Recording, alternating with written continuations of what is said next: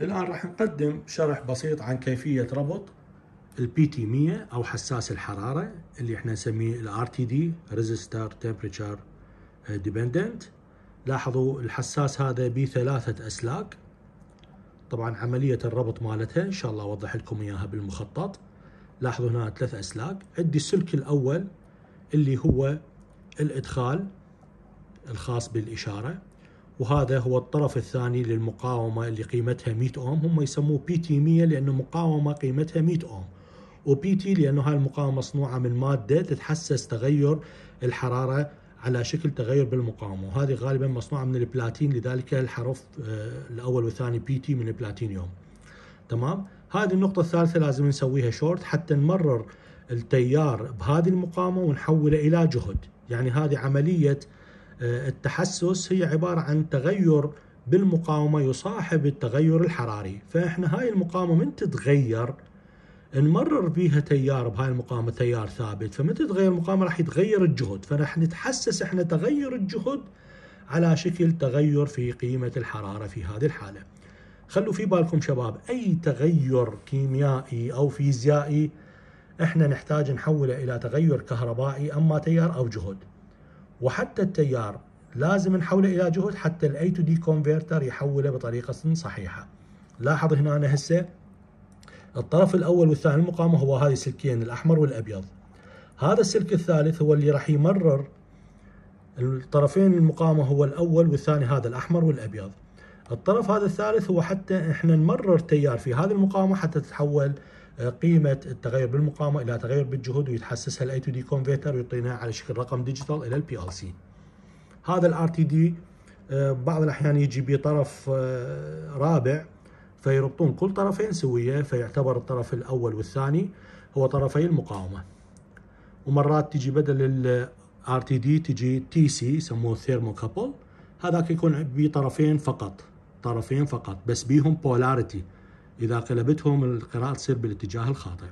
لاحظ هسه هذا ال RTD شباب راح تشوفون القراءة مالته موجودة هنا. لاحظ هسه 25 درجة و7 بالعشرة. لاحظ هسه لو أمسك هذا الحساس بيدي راح تشوفون هذا الرقم راح يبدي يزداد شيئا فشيئا. شوف هسه هذا الحساس.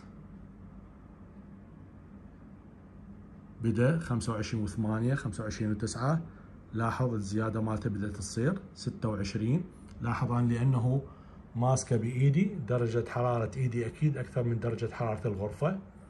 فلاحظ القراءات مالتنا بدأت تزيد. لاحظ 26 هسه وصلنا و6 تمام.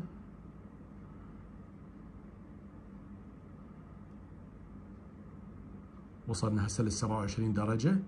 تمام. ونفس الشيء بالنسبة للبي ال سي الثاني راح نشوف القراءة مالته الثانية. هسه راح ألزم الحساس الثاني هذا ونشوف تغير الحرارة مالته شلون يصير بالنسبة للقراءة في هذه الجهة.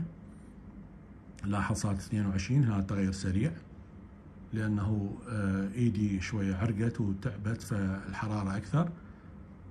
لاحظ هسه هنا التغير في مقياس الحرارة. وهنا راح تلاحظ يبدي ينخفض لأنه هنا آه، رفعت إيدي من هذا الحساس. شوف هسه 28 واحد.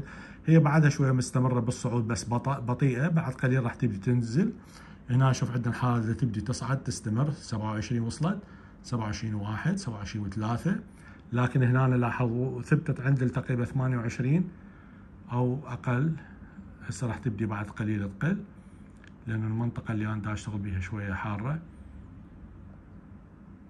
لاحظ تقريبا استقرت على 28 و3 هنا أنا مستمرة بالزيادة 28 و3 28 و4 لأنه مستمر أنا في مسك الحساس فالحرارة تزيد عندنا باستمرار. تمام؟ لاحظ هذا الحساس الثاني. استقر على 28 و3 بالعشرة يعني راح يبدي بعد قليل يمكن يبدي يبرد ويبدي ينخفض شيئا فشيئا. تمام؟ هذه عملية قراءة الحساسات. ال RTD الحساس من النوع ال PT 100 طبعا حساسات كثيرة موجودة للحرارة حساسات كثيرة موجودة للضغط الرطوبة شدة الإشعاع الشمسي إلى آخره. هذا كان مثال بسيط على حساسات digital حساسات analog ربط شبكة DCS من خلال ايثرنت هذه يسموها ال IP net أو يسموها ال IP Ethernet اللي يسموها ال IP الصناعي. الشبكة اللي تتعامل ويا ال IP طبعا كل واحد من هذه ال PLC ات شباب له بي يعني IP معين. لاحظوا حتى هذا ال switch كل منفذ بي IP هذا ال PLC بي IP هاي الشاشة لها IP هاي الشاشة لها IP وهسه بعد قليل راح أستعرض لكم ال IP ات الخاصة بهذه الشبكة من خلال برنامج DCISoft